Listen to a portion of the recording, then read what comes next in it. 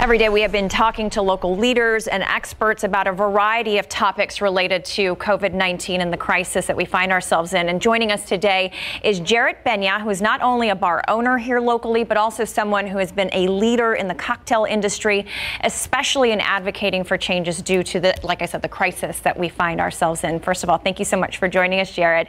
Thank and you. Uh, before we get into your reaction about uh, the governor's orders that would reopen, uh, effectively reopen, bars partially. I want to talk to you about um, how bad the bar industry has been hit here locally, not just you personally, but citywide.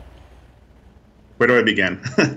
um, it's, you know, I'm sure a lot of people have seen the numbers. I mean, they're expecting anywhere from 40 to 60% of all food and beverage industries closing. Uh, and that's a massive number. And you compound that with the fact that one of every six people here in San Antonio are in the service industry. I mean, it's it's a massive blow to San Antonio based on our economy. Can you make it on 25% occupancy? No, I don't. I actually ran numbers. I, I had a pro forma that I posted on Facebook that explained how you could actually survive on a 25 or actually 30% decrease in, uh, excuse me, a 70% increase in business and there were a number of factors that would require landlords to help out. And one big factor was actually getting rid of the eight, excuse me, six and a half percent of the gross receipt tax that we pay for alcohol. Right, which is the sin tax. They call it the syntax, correct? Yeah, it's called the syntax. Yeah. So, so you, do you think that's going to happen?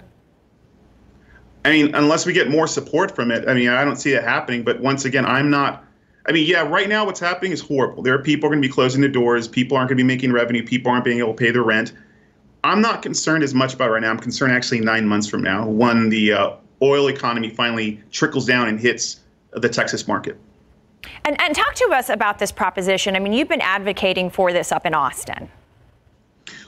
We, I haven't particularly. I've been reaching out to, to local leaders. I've uh, I've had some phone calls with state represent, state representatives I've talked to some other local leaders in the the uh, beverage world, and I think we all agree this would be a huge thing that can help uh, operators because we're talking about six and a half percent off the top going back into our pockets. Uh, the number I like to throw at you is like, would you, you know, uh, this is to the comptroller, to the state. I mean, would you rather have four, 14.5% of only 40% of the business, or would you rather have eight and a quarter or eight and a half percent of 60% of the business? And the numbers just make sense. I see you have your Still Golden hat on, which is one of the social clubs that you own. Is Still Golden going to open on Friday?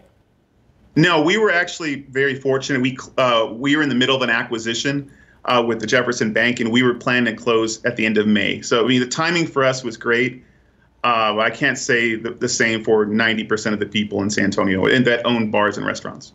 I know the past couple of months have been incredibly difficult for bar owners across our city and across the state, across the country, really. Yeah. Um, what do you think the next few months moving forward will look like for bars?